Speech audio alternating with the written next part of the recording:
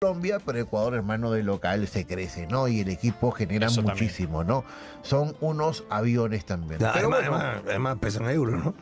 también. Son aviones, es verdad. También. Hola, hola a todos sudamericanos, ¿cómo andan? Sean bienvenidos a un nuevo video de Sudamérica, tu canal de fútbol sudamericano. Día de hoy, día de Sud al mundo, como siempre, apoyando a los sudamericanos. Y en estos momentos nos encontramos con la clave, el jugador clave, o mejor dicho, la clave, vamos a dejarlo, la clave de Ecuador para crecer y convertirse en una selección tope de gama.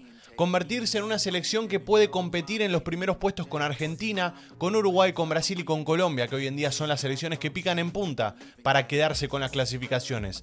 Obviamente Ecuador tiene lo necesario, tiene el equipo, tiene el plantel y por sobre todas las cosas, que es muy cuestionado al momento por lo que pasó en Brasil, tiene un buen técnico. Yo lo voy a defender, lo voy a seguir defendiendo y obviamente vamos a reconocer los errores, porque el otro día tuvo muchos errores Ecuador, pero hay un montón de cosas que a mí me vienen gustando de lo que fue la convocatoria, de lo que fue el otro día el partido con Brasil, me parece que hay cuestiones a rescatar también y obviamente hay mucho para corregir y por eso acá vamos a analizar y a decir desde alguna forma mi punto de vista en este caso de cuál es el problema que tiene Ecuador que tiene que solucionar para convertirse en una selección tope. En una selección top top, me refiero, ¿eh? Vamos a ir con el video, por supuesto, vamos a estar reaccionando un par de cositas, pero antes les voy a pedir que vayan al canal de los directos y se suscriban porque vamos a estar haciendo directos, por ejemplo, de Ecuador el partido contra Perú, lo vamos a estar haciendo en directo ahí, así que les dejo el canal ahí para que vayan a suscribirse. Vamos a ver juntos primero lo que fue para mí la mejor aparición en este partido contra Brasil y no desde el arranque, me estoy refiriendo desde el banco de suplentes, porque el mejor jugador de la cancha fue Alan Franco, lejos. Junto a los centrales me parece que fueron los mejores. La zona defensiva estuvo espectacular, estuvo espléndida.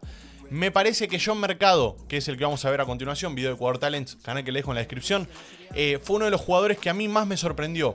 Primero, porque es uno de los debutantes, es uno de los jugadores que está eh, sumando sus primeros minutos con la selección mayor y no le tembló, no le tembló el pulso. Y ojo con esto que voy a agregar, es un chico que puede empezar a jugar de 9 tranquilamente. Y yo creo que Becasese con lo que hizo el otro día te demostró cuál es su intención con John Mercado. No es ponerlo de, extremo, no es ponerlo de enganche, es ponerlo a hacer un rol más de 9, más de, de jugador ofensivo. Entonces, me gusta mucho esto que hace John Mercado de bajar a buscar la pelota, de tratar de distribuir, pero una de las cosas que hizo mejor fue esto, el pivoteo. Miren esta jugada que armaron entre eh, John Mercado, Yeboah y no sé si fue Kendry Páez también. Sí, fue Kendry Páez. Muy buena y estuvo, estuvo buena la gestión. Después obviamente la pelota se termina yendo afuera. Puede pasar esto, pero Mercado es un chico con mucha potencia, con mucho empuje, le gusta presionar, miren acá cómo presionó y cómo logró la equivocación de Allison en este caso.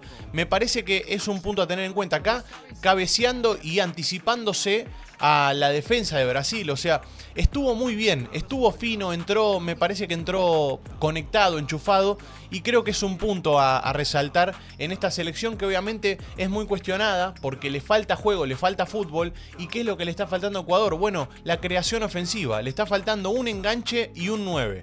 Porque los extremos los tiene, porque el mediocampo, quieras o no, lo podés armar como vos querés, pero le está faltando el 9 que no se encuentra y me parece que en la lista el que puede llegar a competir para quedarse con la titularidad es Kevin Rodríguez, porque Ener Valencia está muy flojo.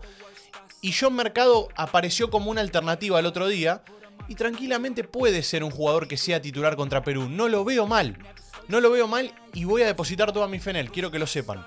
Me sorprendió mucho este chico, lo venía siguiendo ya del sub-23, lo venía siguiendo ya de la sub-20 y me parece interesante el, prospecto de, de, jugador que es en este caso John Mercado. Siguiendo con esto, Kendry Páez es otro de los chicos que ingresó el otro día en el segundo tiempo. No me gustó cómo ingresó Kendry, pero es el jugador que necesita Ecuador también.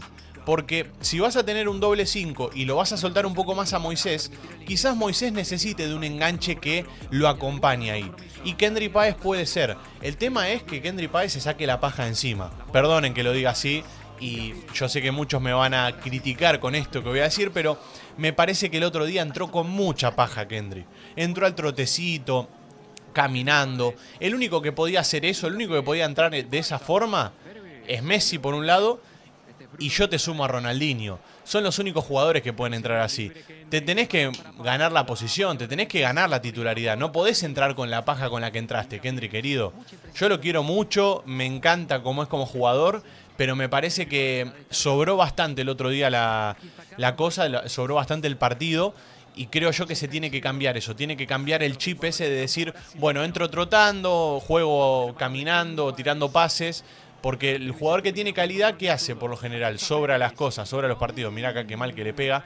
Pero bueno, así como les digo esto y así como lo critico, también les voy a decir, Kendry Páez es un jugador que necesita Ecuador. Un enganche y un 9 es lo que necesita Ecuador. Por eso quería hacer este video hablando un poco de cómo veo yo el equipo de cara al partido con Perú. Me parece que la línea de defensores tiene que cambiar, tiene que pasar a ser una línea de 4, así podés poner un jugador más en la mitad de la cancha. Jugar con un doble 5 que puede ser entre Alan Franco y Grueso, que el otro día Grueso entró muy conectado. Por las bandas, podés jugar con y con Sarmiento tranquilamente. Lo podés soltar un poco más a Moisés junto a Kendry Páez. Y por delante de ellos puede estar Kevin Rodríguez o John Mercado. Yo lo probaría John Mercado. No sé si es el partido con Perú, el partido a probar a un jugador en una posición que quizás no es la habitual de él. Pero me parece que puede ser interesante tenerlo en esa posición teniendo en cuenta cómo jugó el otro día, cómo estuvo en el segundo tiempo John Mercado. Eh, a mí me gustó mucho, por eso sigo con esta idea de que tiene que jugar. Pero bueno, yendo un poco al, al análisis final del, del video, quiero que vayamos con la prensa peruana. ¿Cómo ve la prensa peruana este partido contra Ecuador? ¿Cómo cree que se va a dar? ¿Cómo cree que va a suceder? Eh, si tiene algún jugador a seguir de cerca que decís, este nos puede cagar el partido, este nos puede en este caso ganar el partido. Eh, así que me gustaría verlo. El video es de Rivera Cracks, canal que les dejo en la descripción. Y bueno, vamos a terminar de, cerrar un poco el video con este con esta análisis de la prensa. Vamos. Y no estamos eliminados todavía. No. Pero vamos a ver qué pasa. Dile, a, pero dile a Jaime, hermano. Dile a Jaime. no, no, estamos eliminados. Sabemos que no estamos. Otra cosa.